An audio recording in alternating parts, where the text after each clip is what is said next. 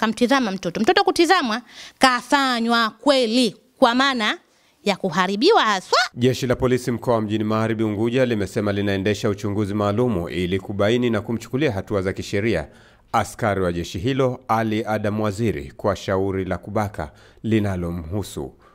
Hayo yamesemwa na kamanda wa polisi mkoa wa mjini Magharibi Tobias Sedoeka Gesauda katika kikao chake na waandishi wa habari huko ofisini kwake Mwembe Madema. Yule ni mtumishi wa jeshi la polisi, lakini nimesema kwamba kwamba hatujathibitisha kama ndio ametenda kosa.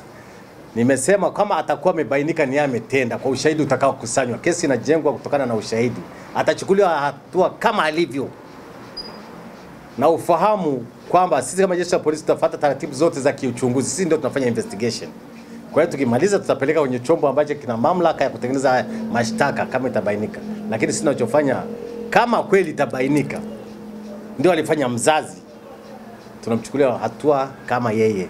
Awali KTV ilielezwa na familia ya mlalamikaji Bi Mwanahawa Idi swale huko Ndagaa, Ghana, kuwa Ali Adamu Waziri, mume wa zamani wa Bi Mwanahawa, ndiye mshtakiwa nambari moja wa kesi ya kumnajisi mtoto wake mwenye umri wa miaka miwili na miezi saba. Mwanangu sisimami moja kwa moja kama babake alombaka, lakini kukosa kuonesha mashirikiano na yeye ndo nilomkabidhi mtoto wangu, yeye ndo atakayejua mhusika na mimi ndo nitakayesimama mtu wa kwanza ambaye niliyemkabidhi mtoto huyu, lakini hakunipa mtoto huyu katika mikono yangu, na aliponipa mtoto wangu hakuwa katika hali ya usalama, na nilivyomkuta hayuko katika hali ya usalama, alishindwa kushiriki kitu chochote. Kwa hiyo mimi nasimama na nani?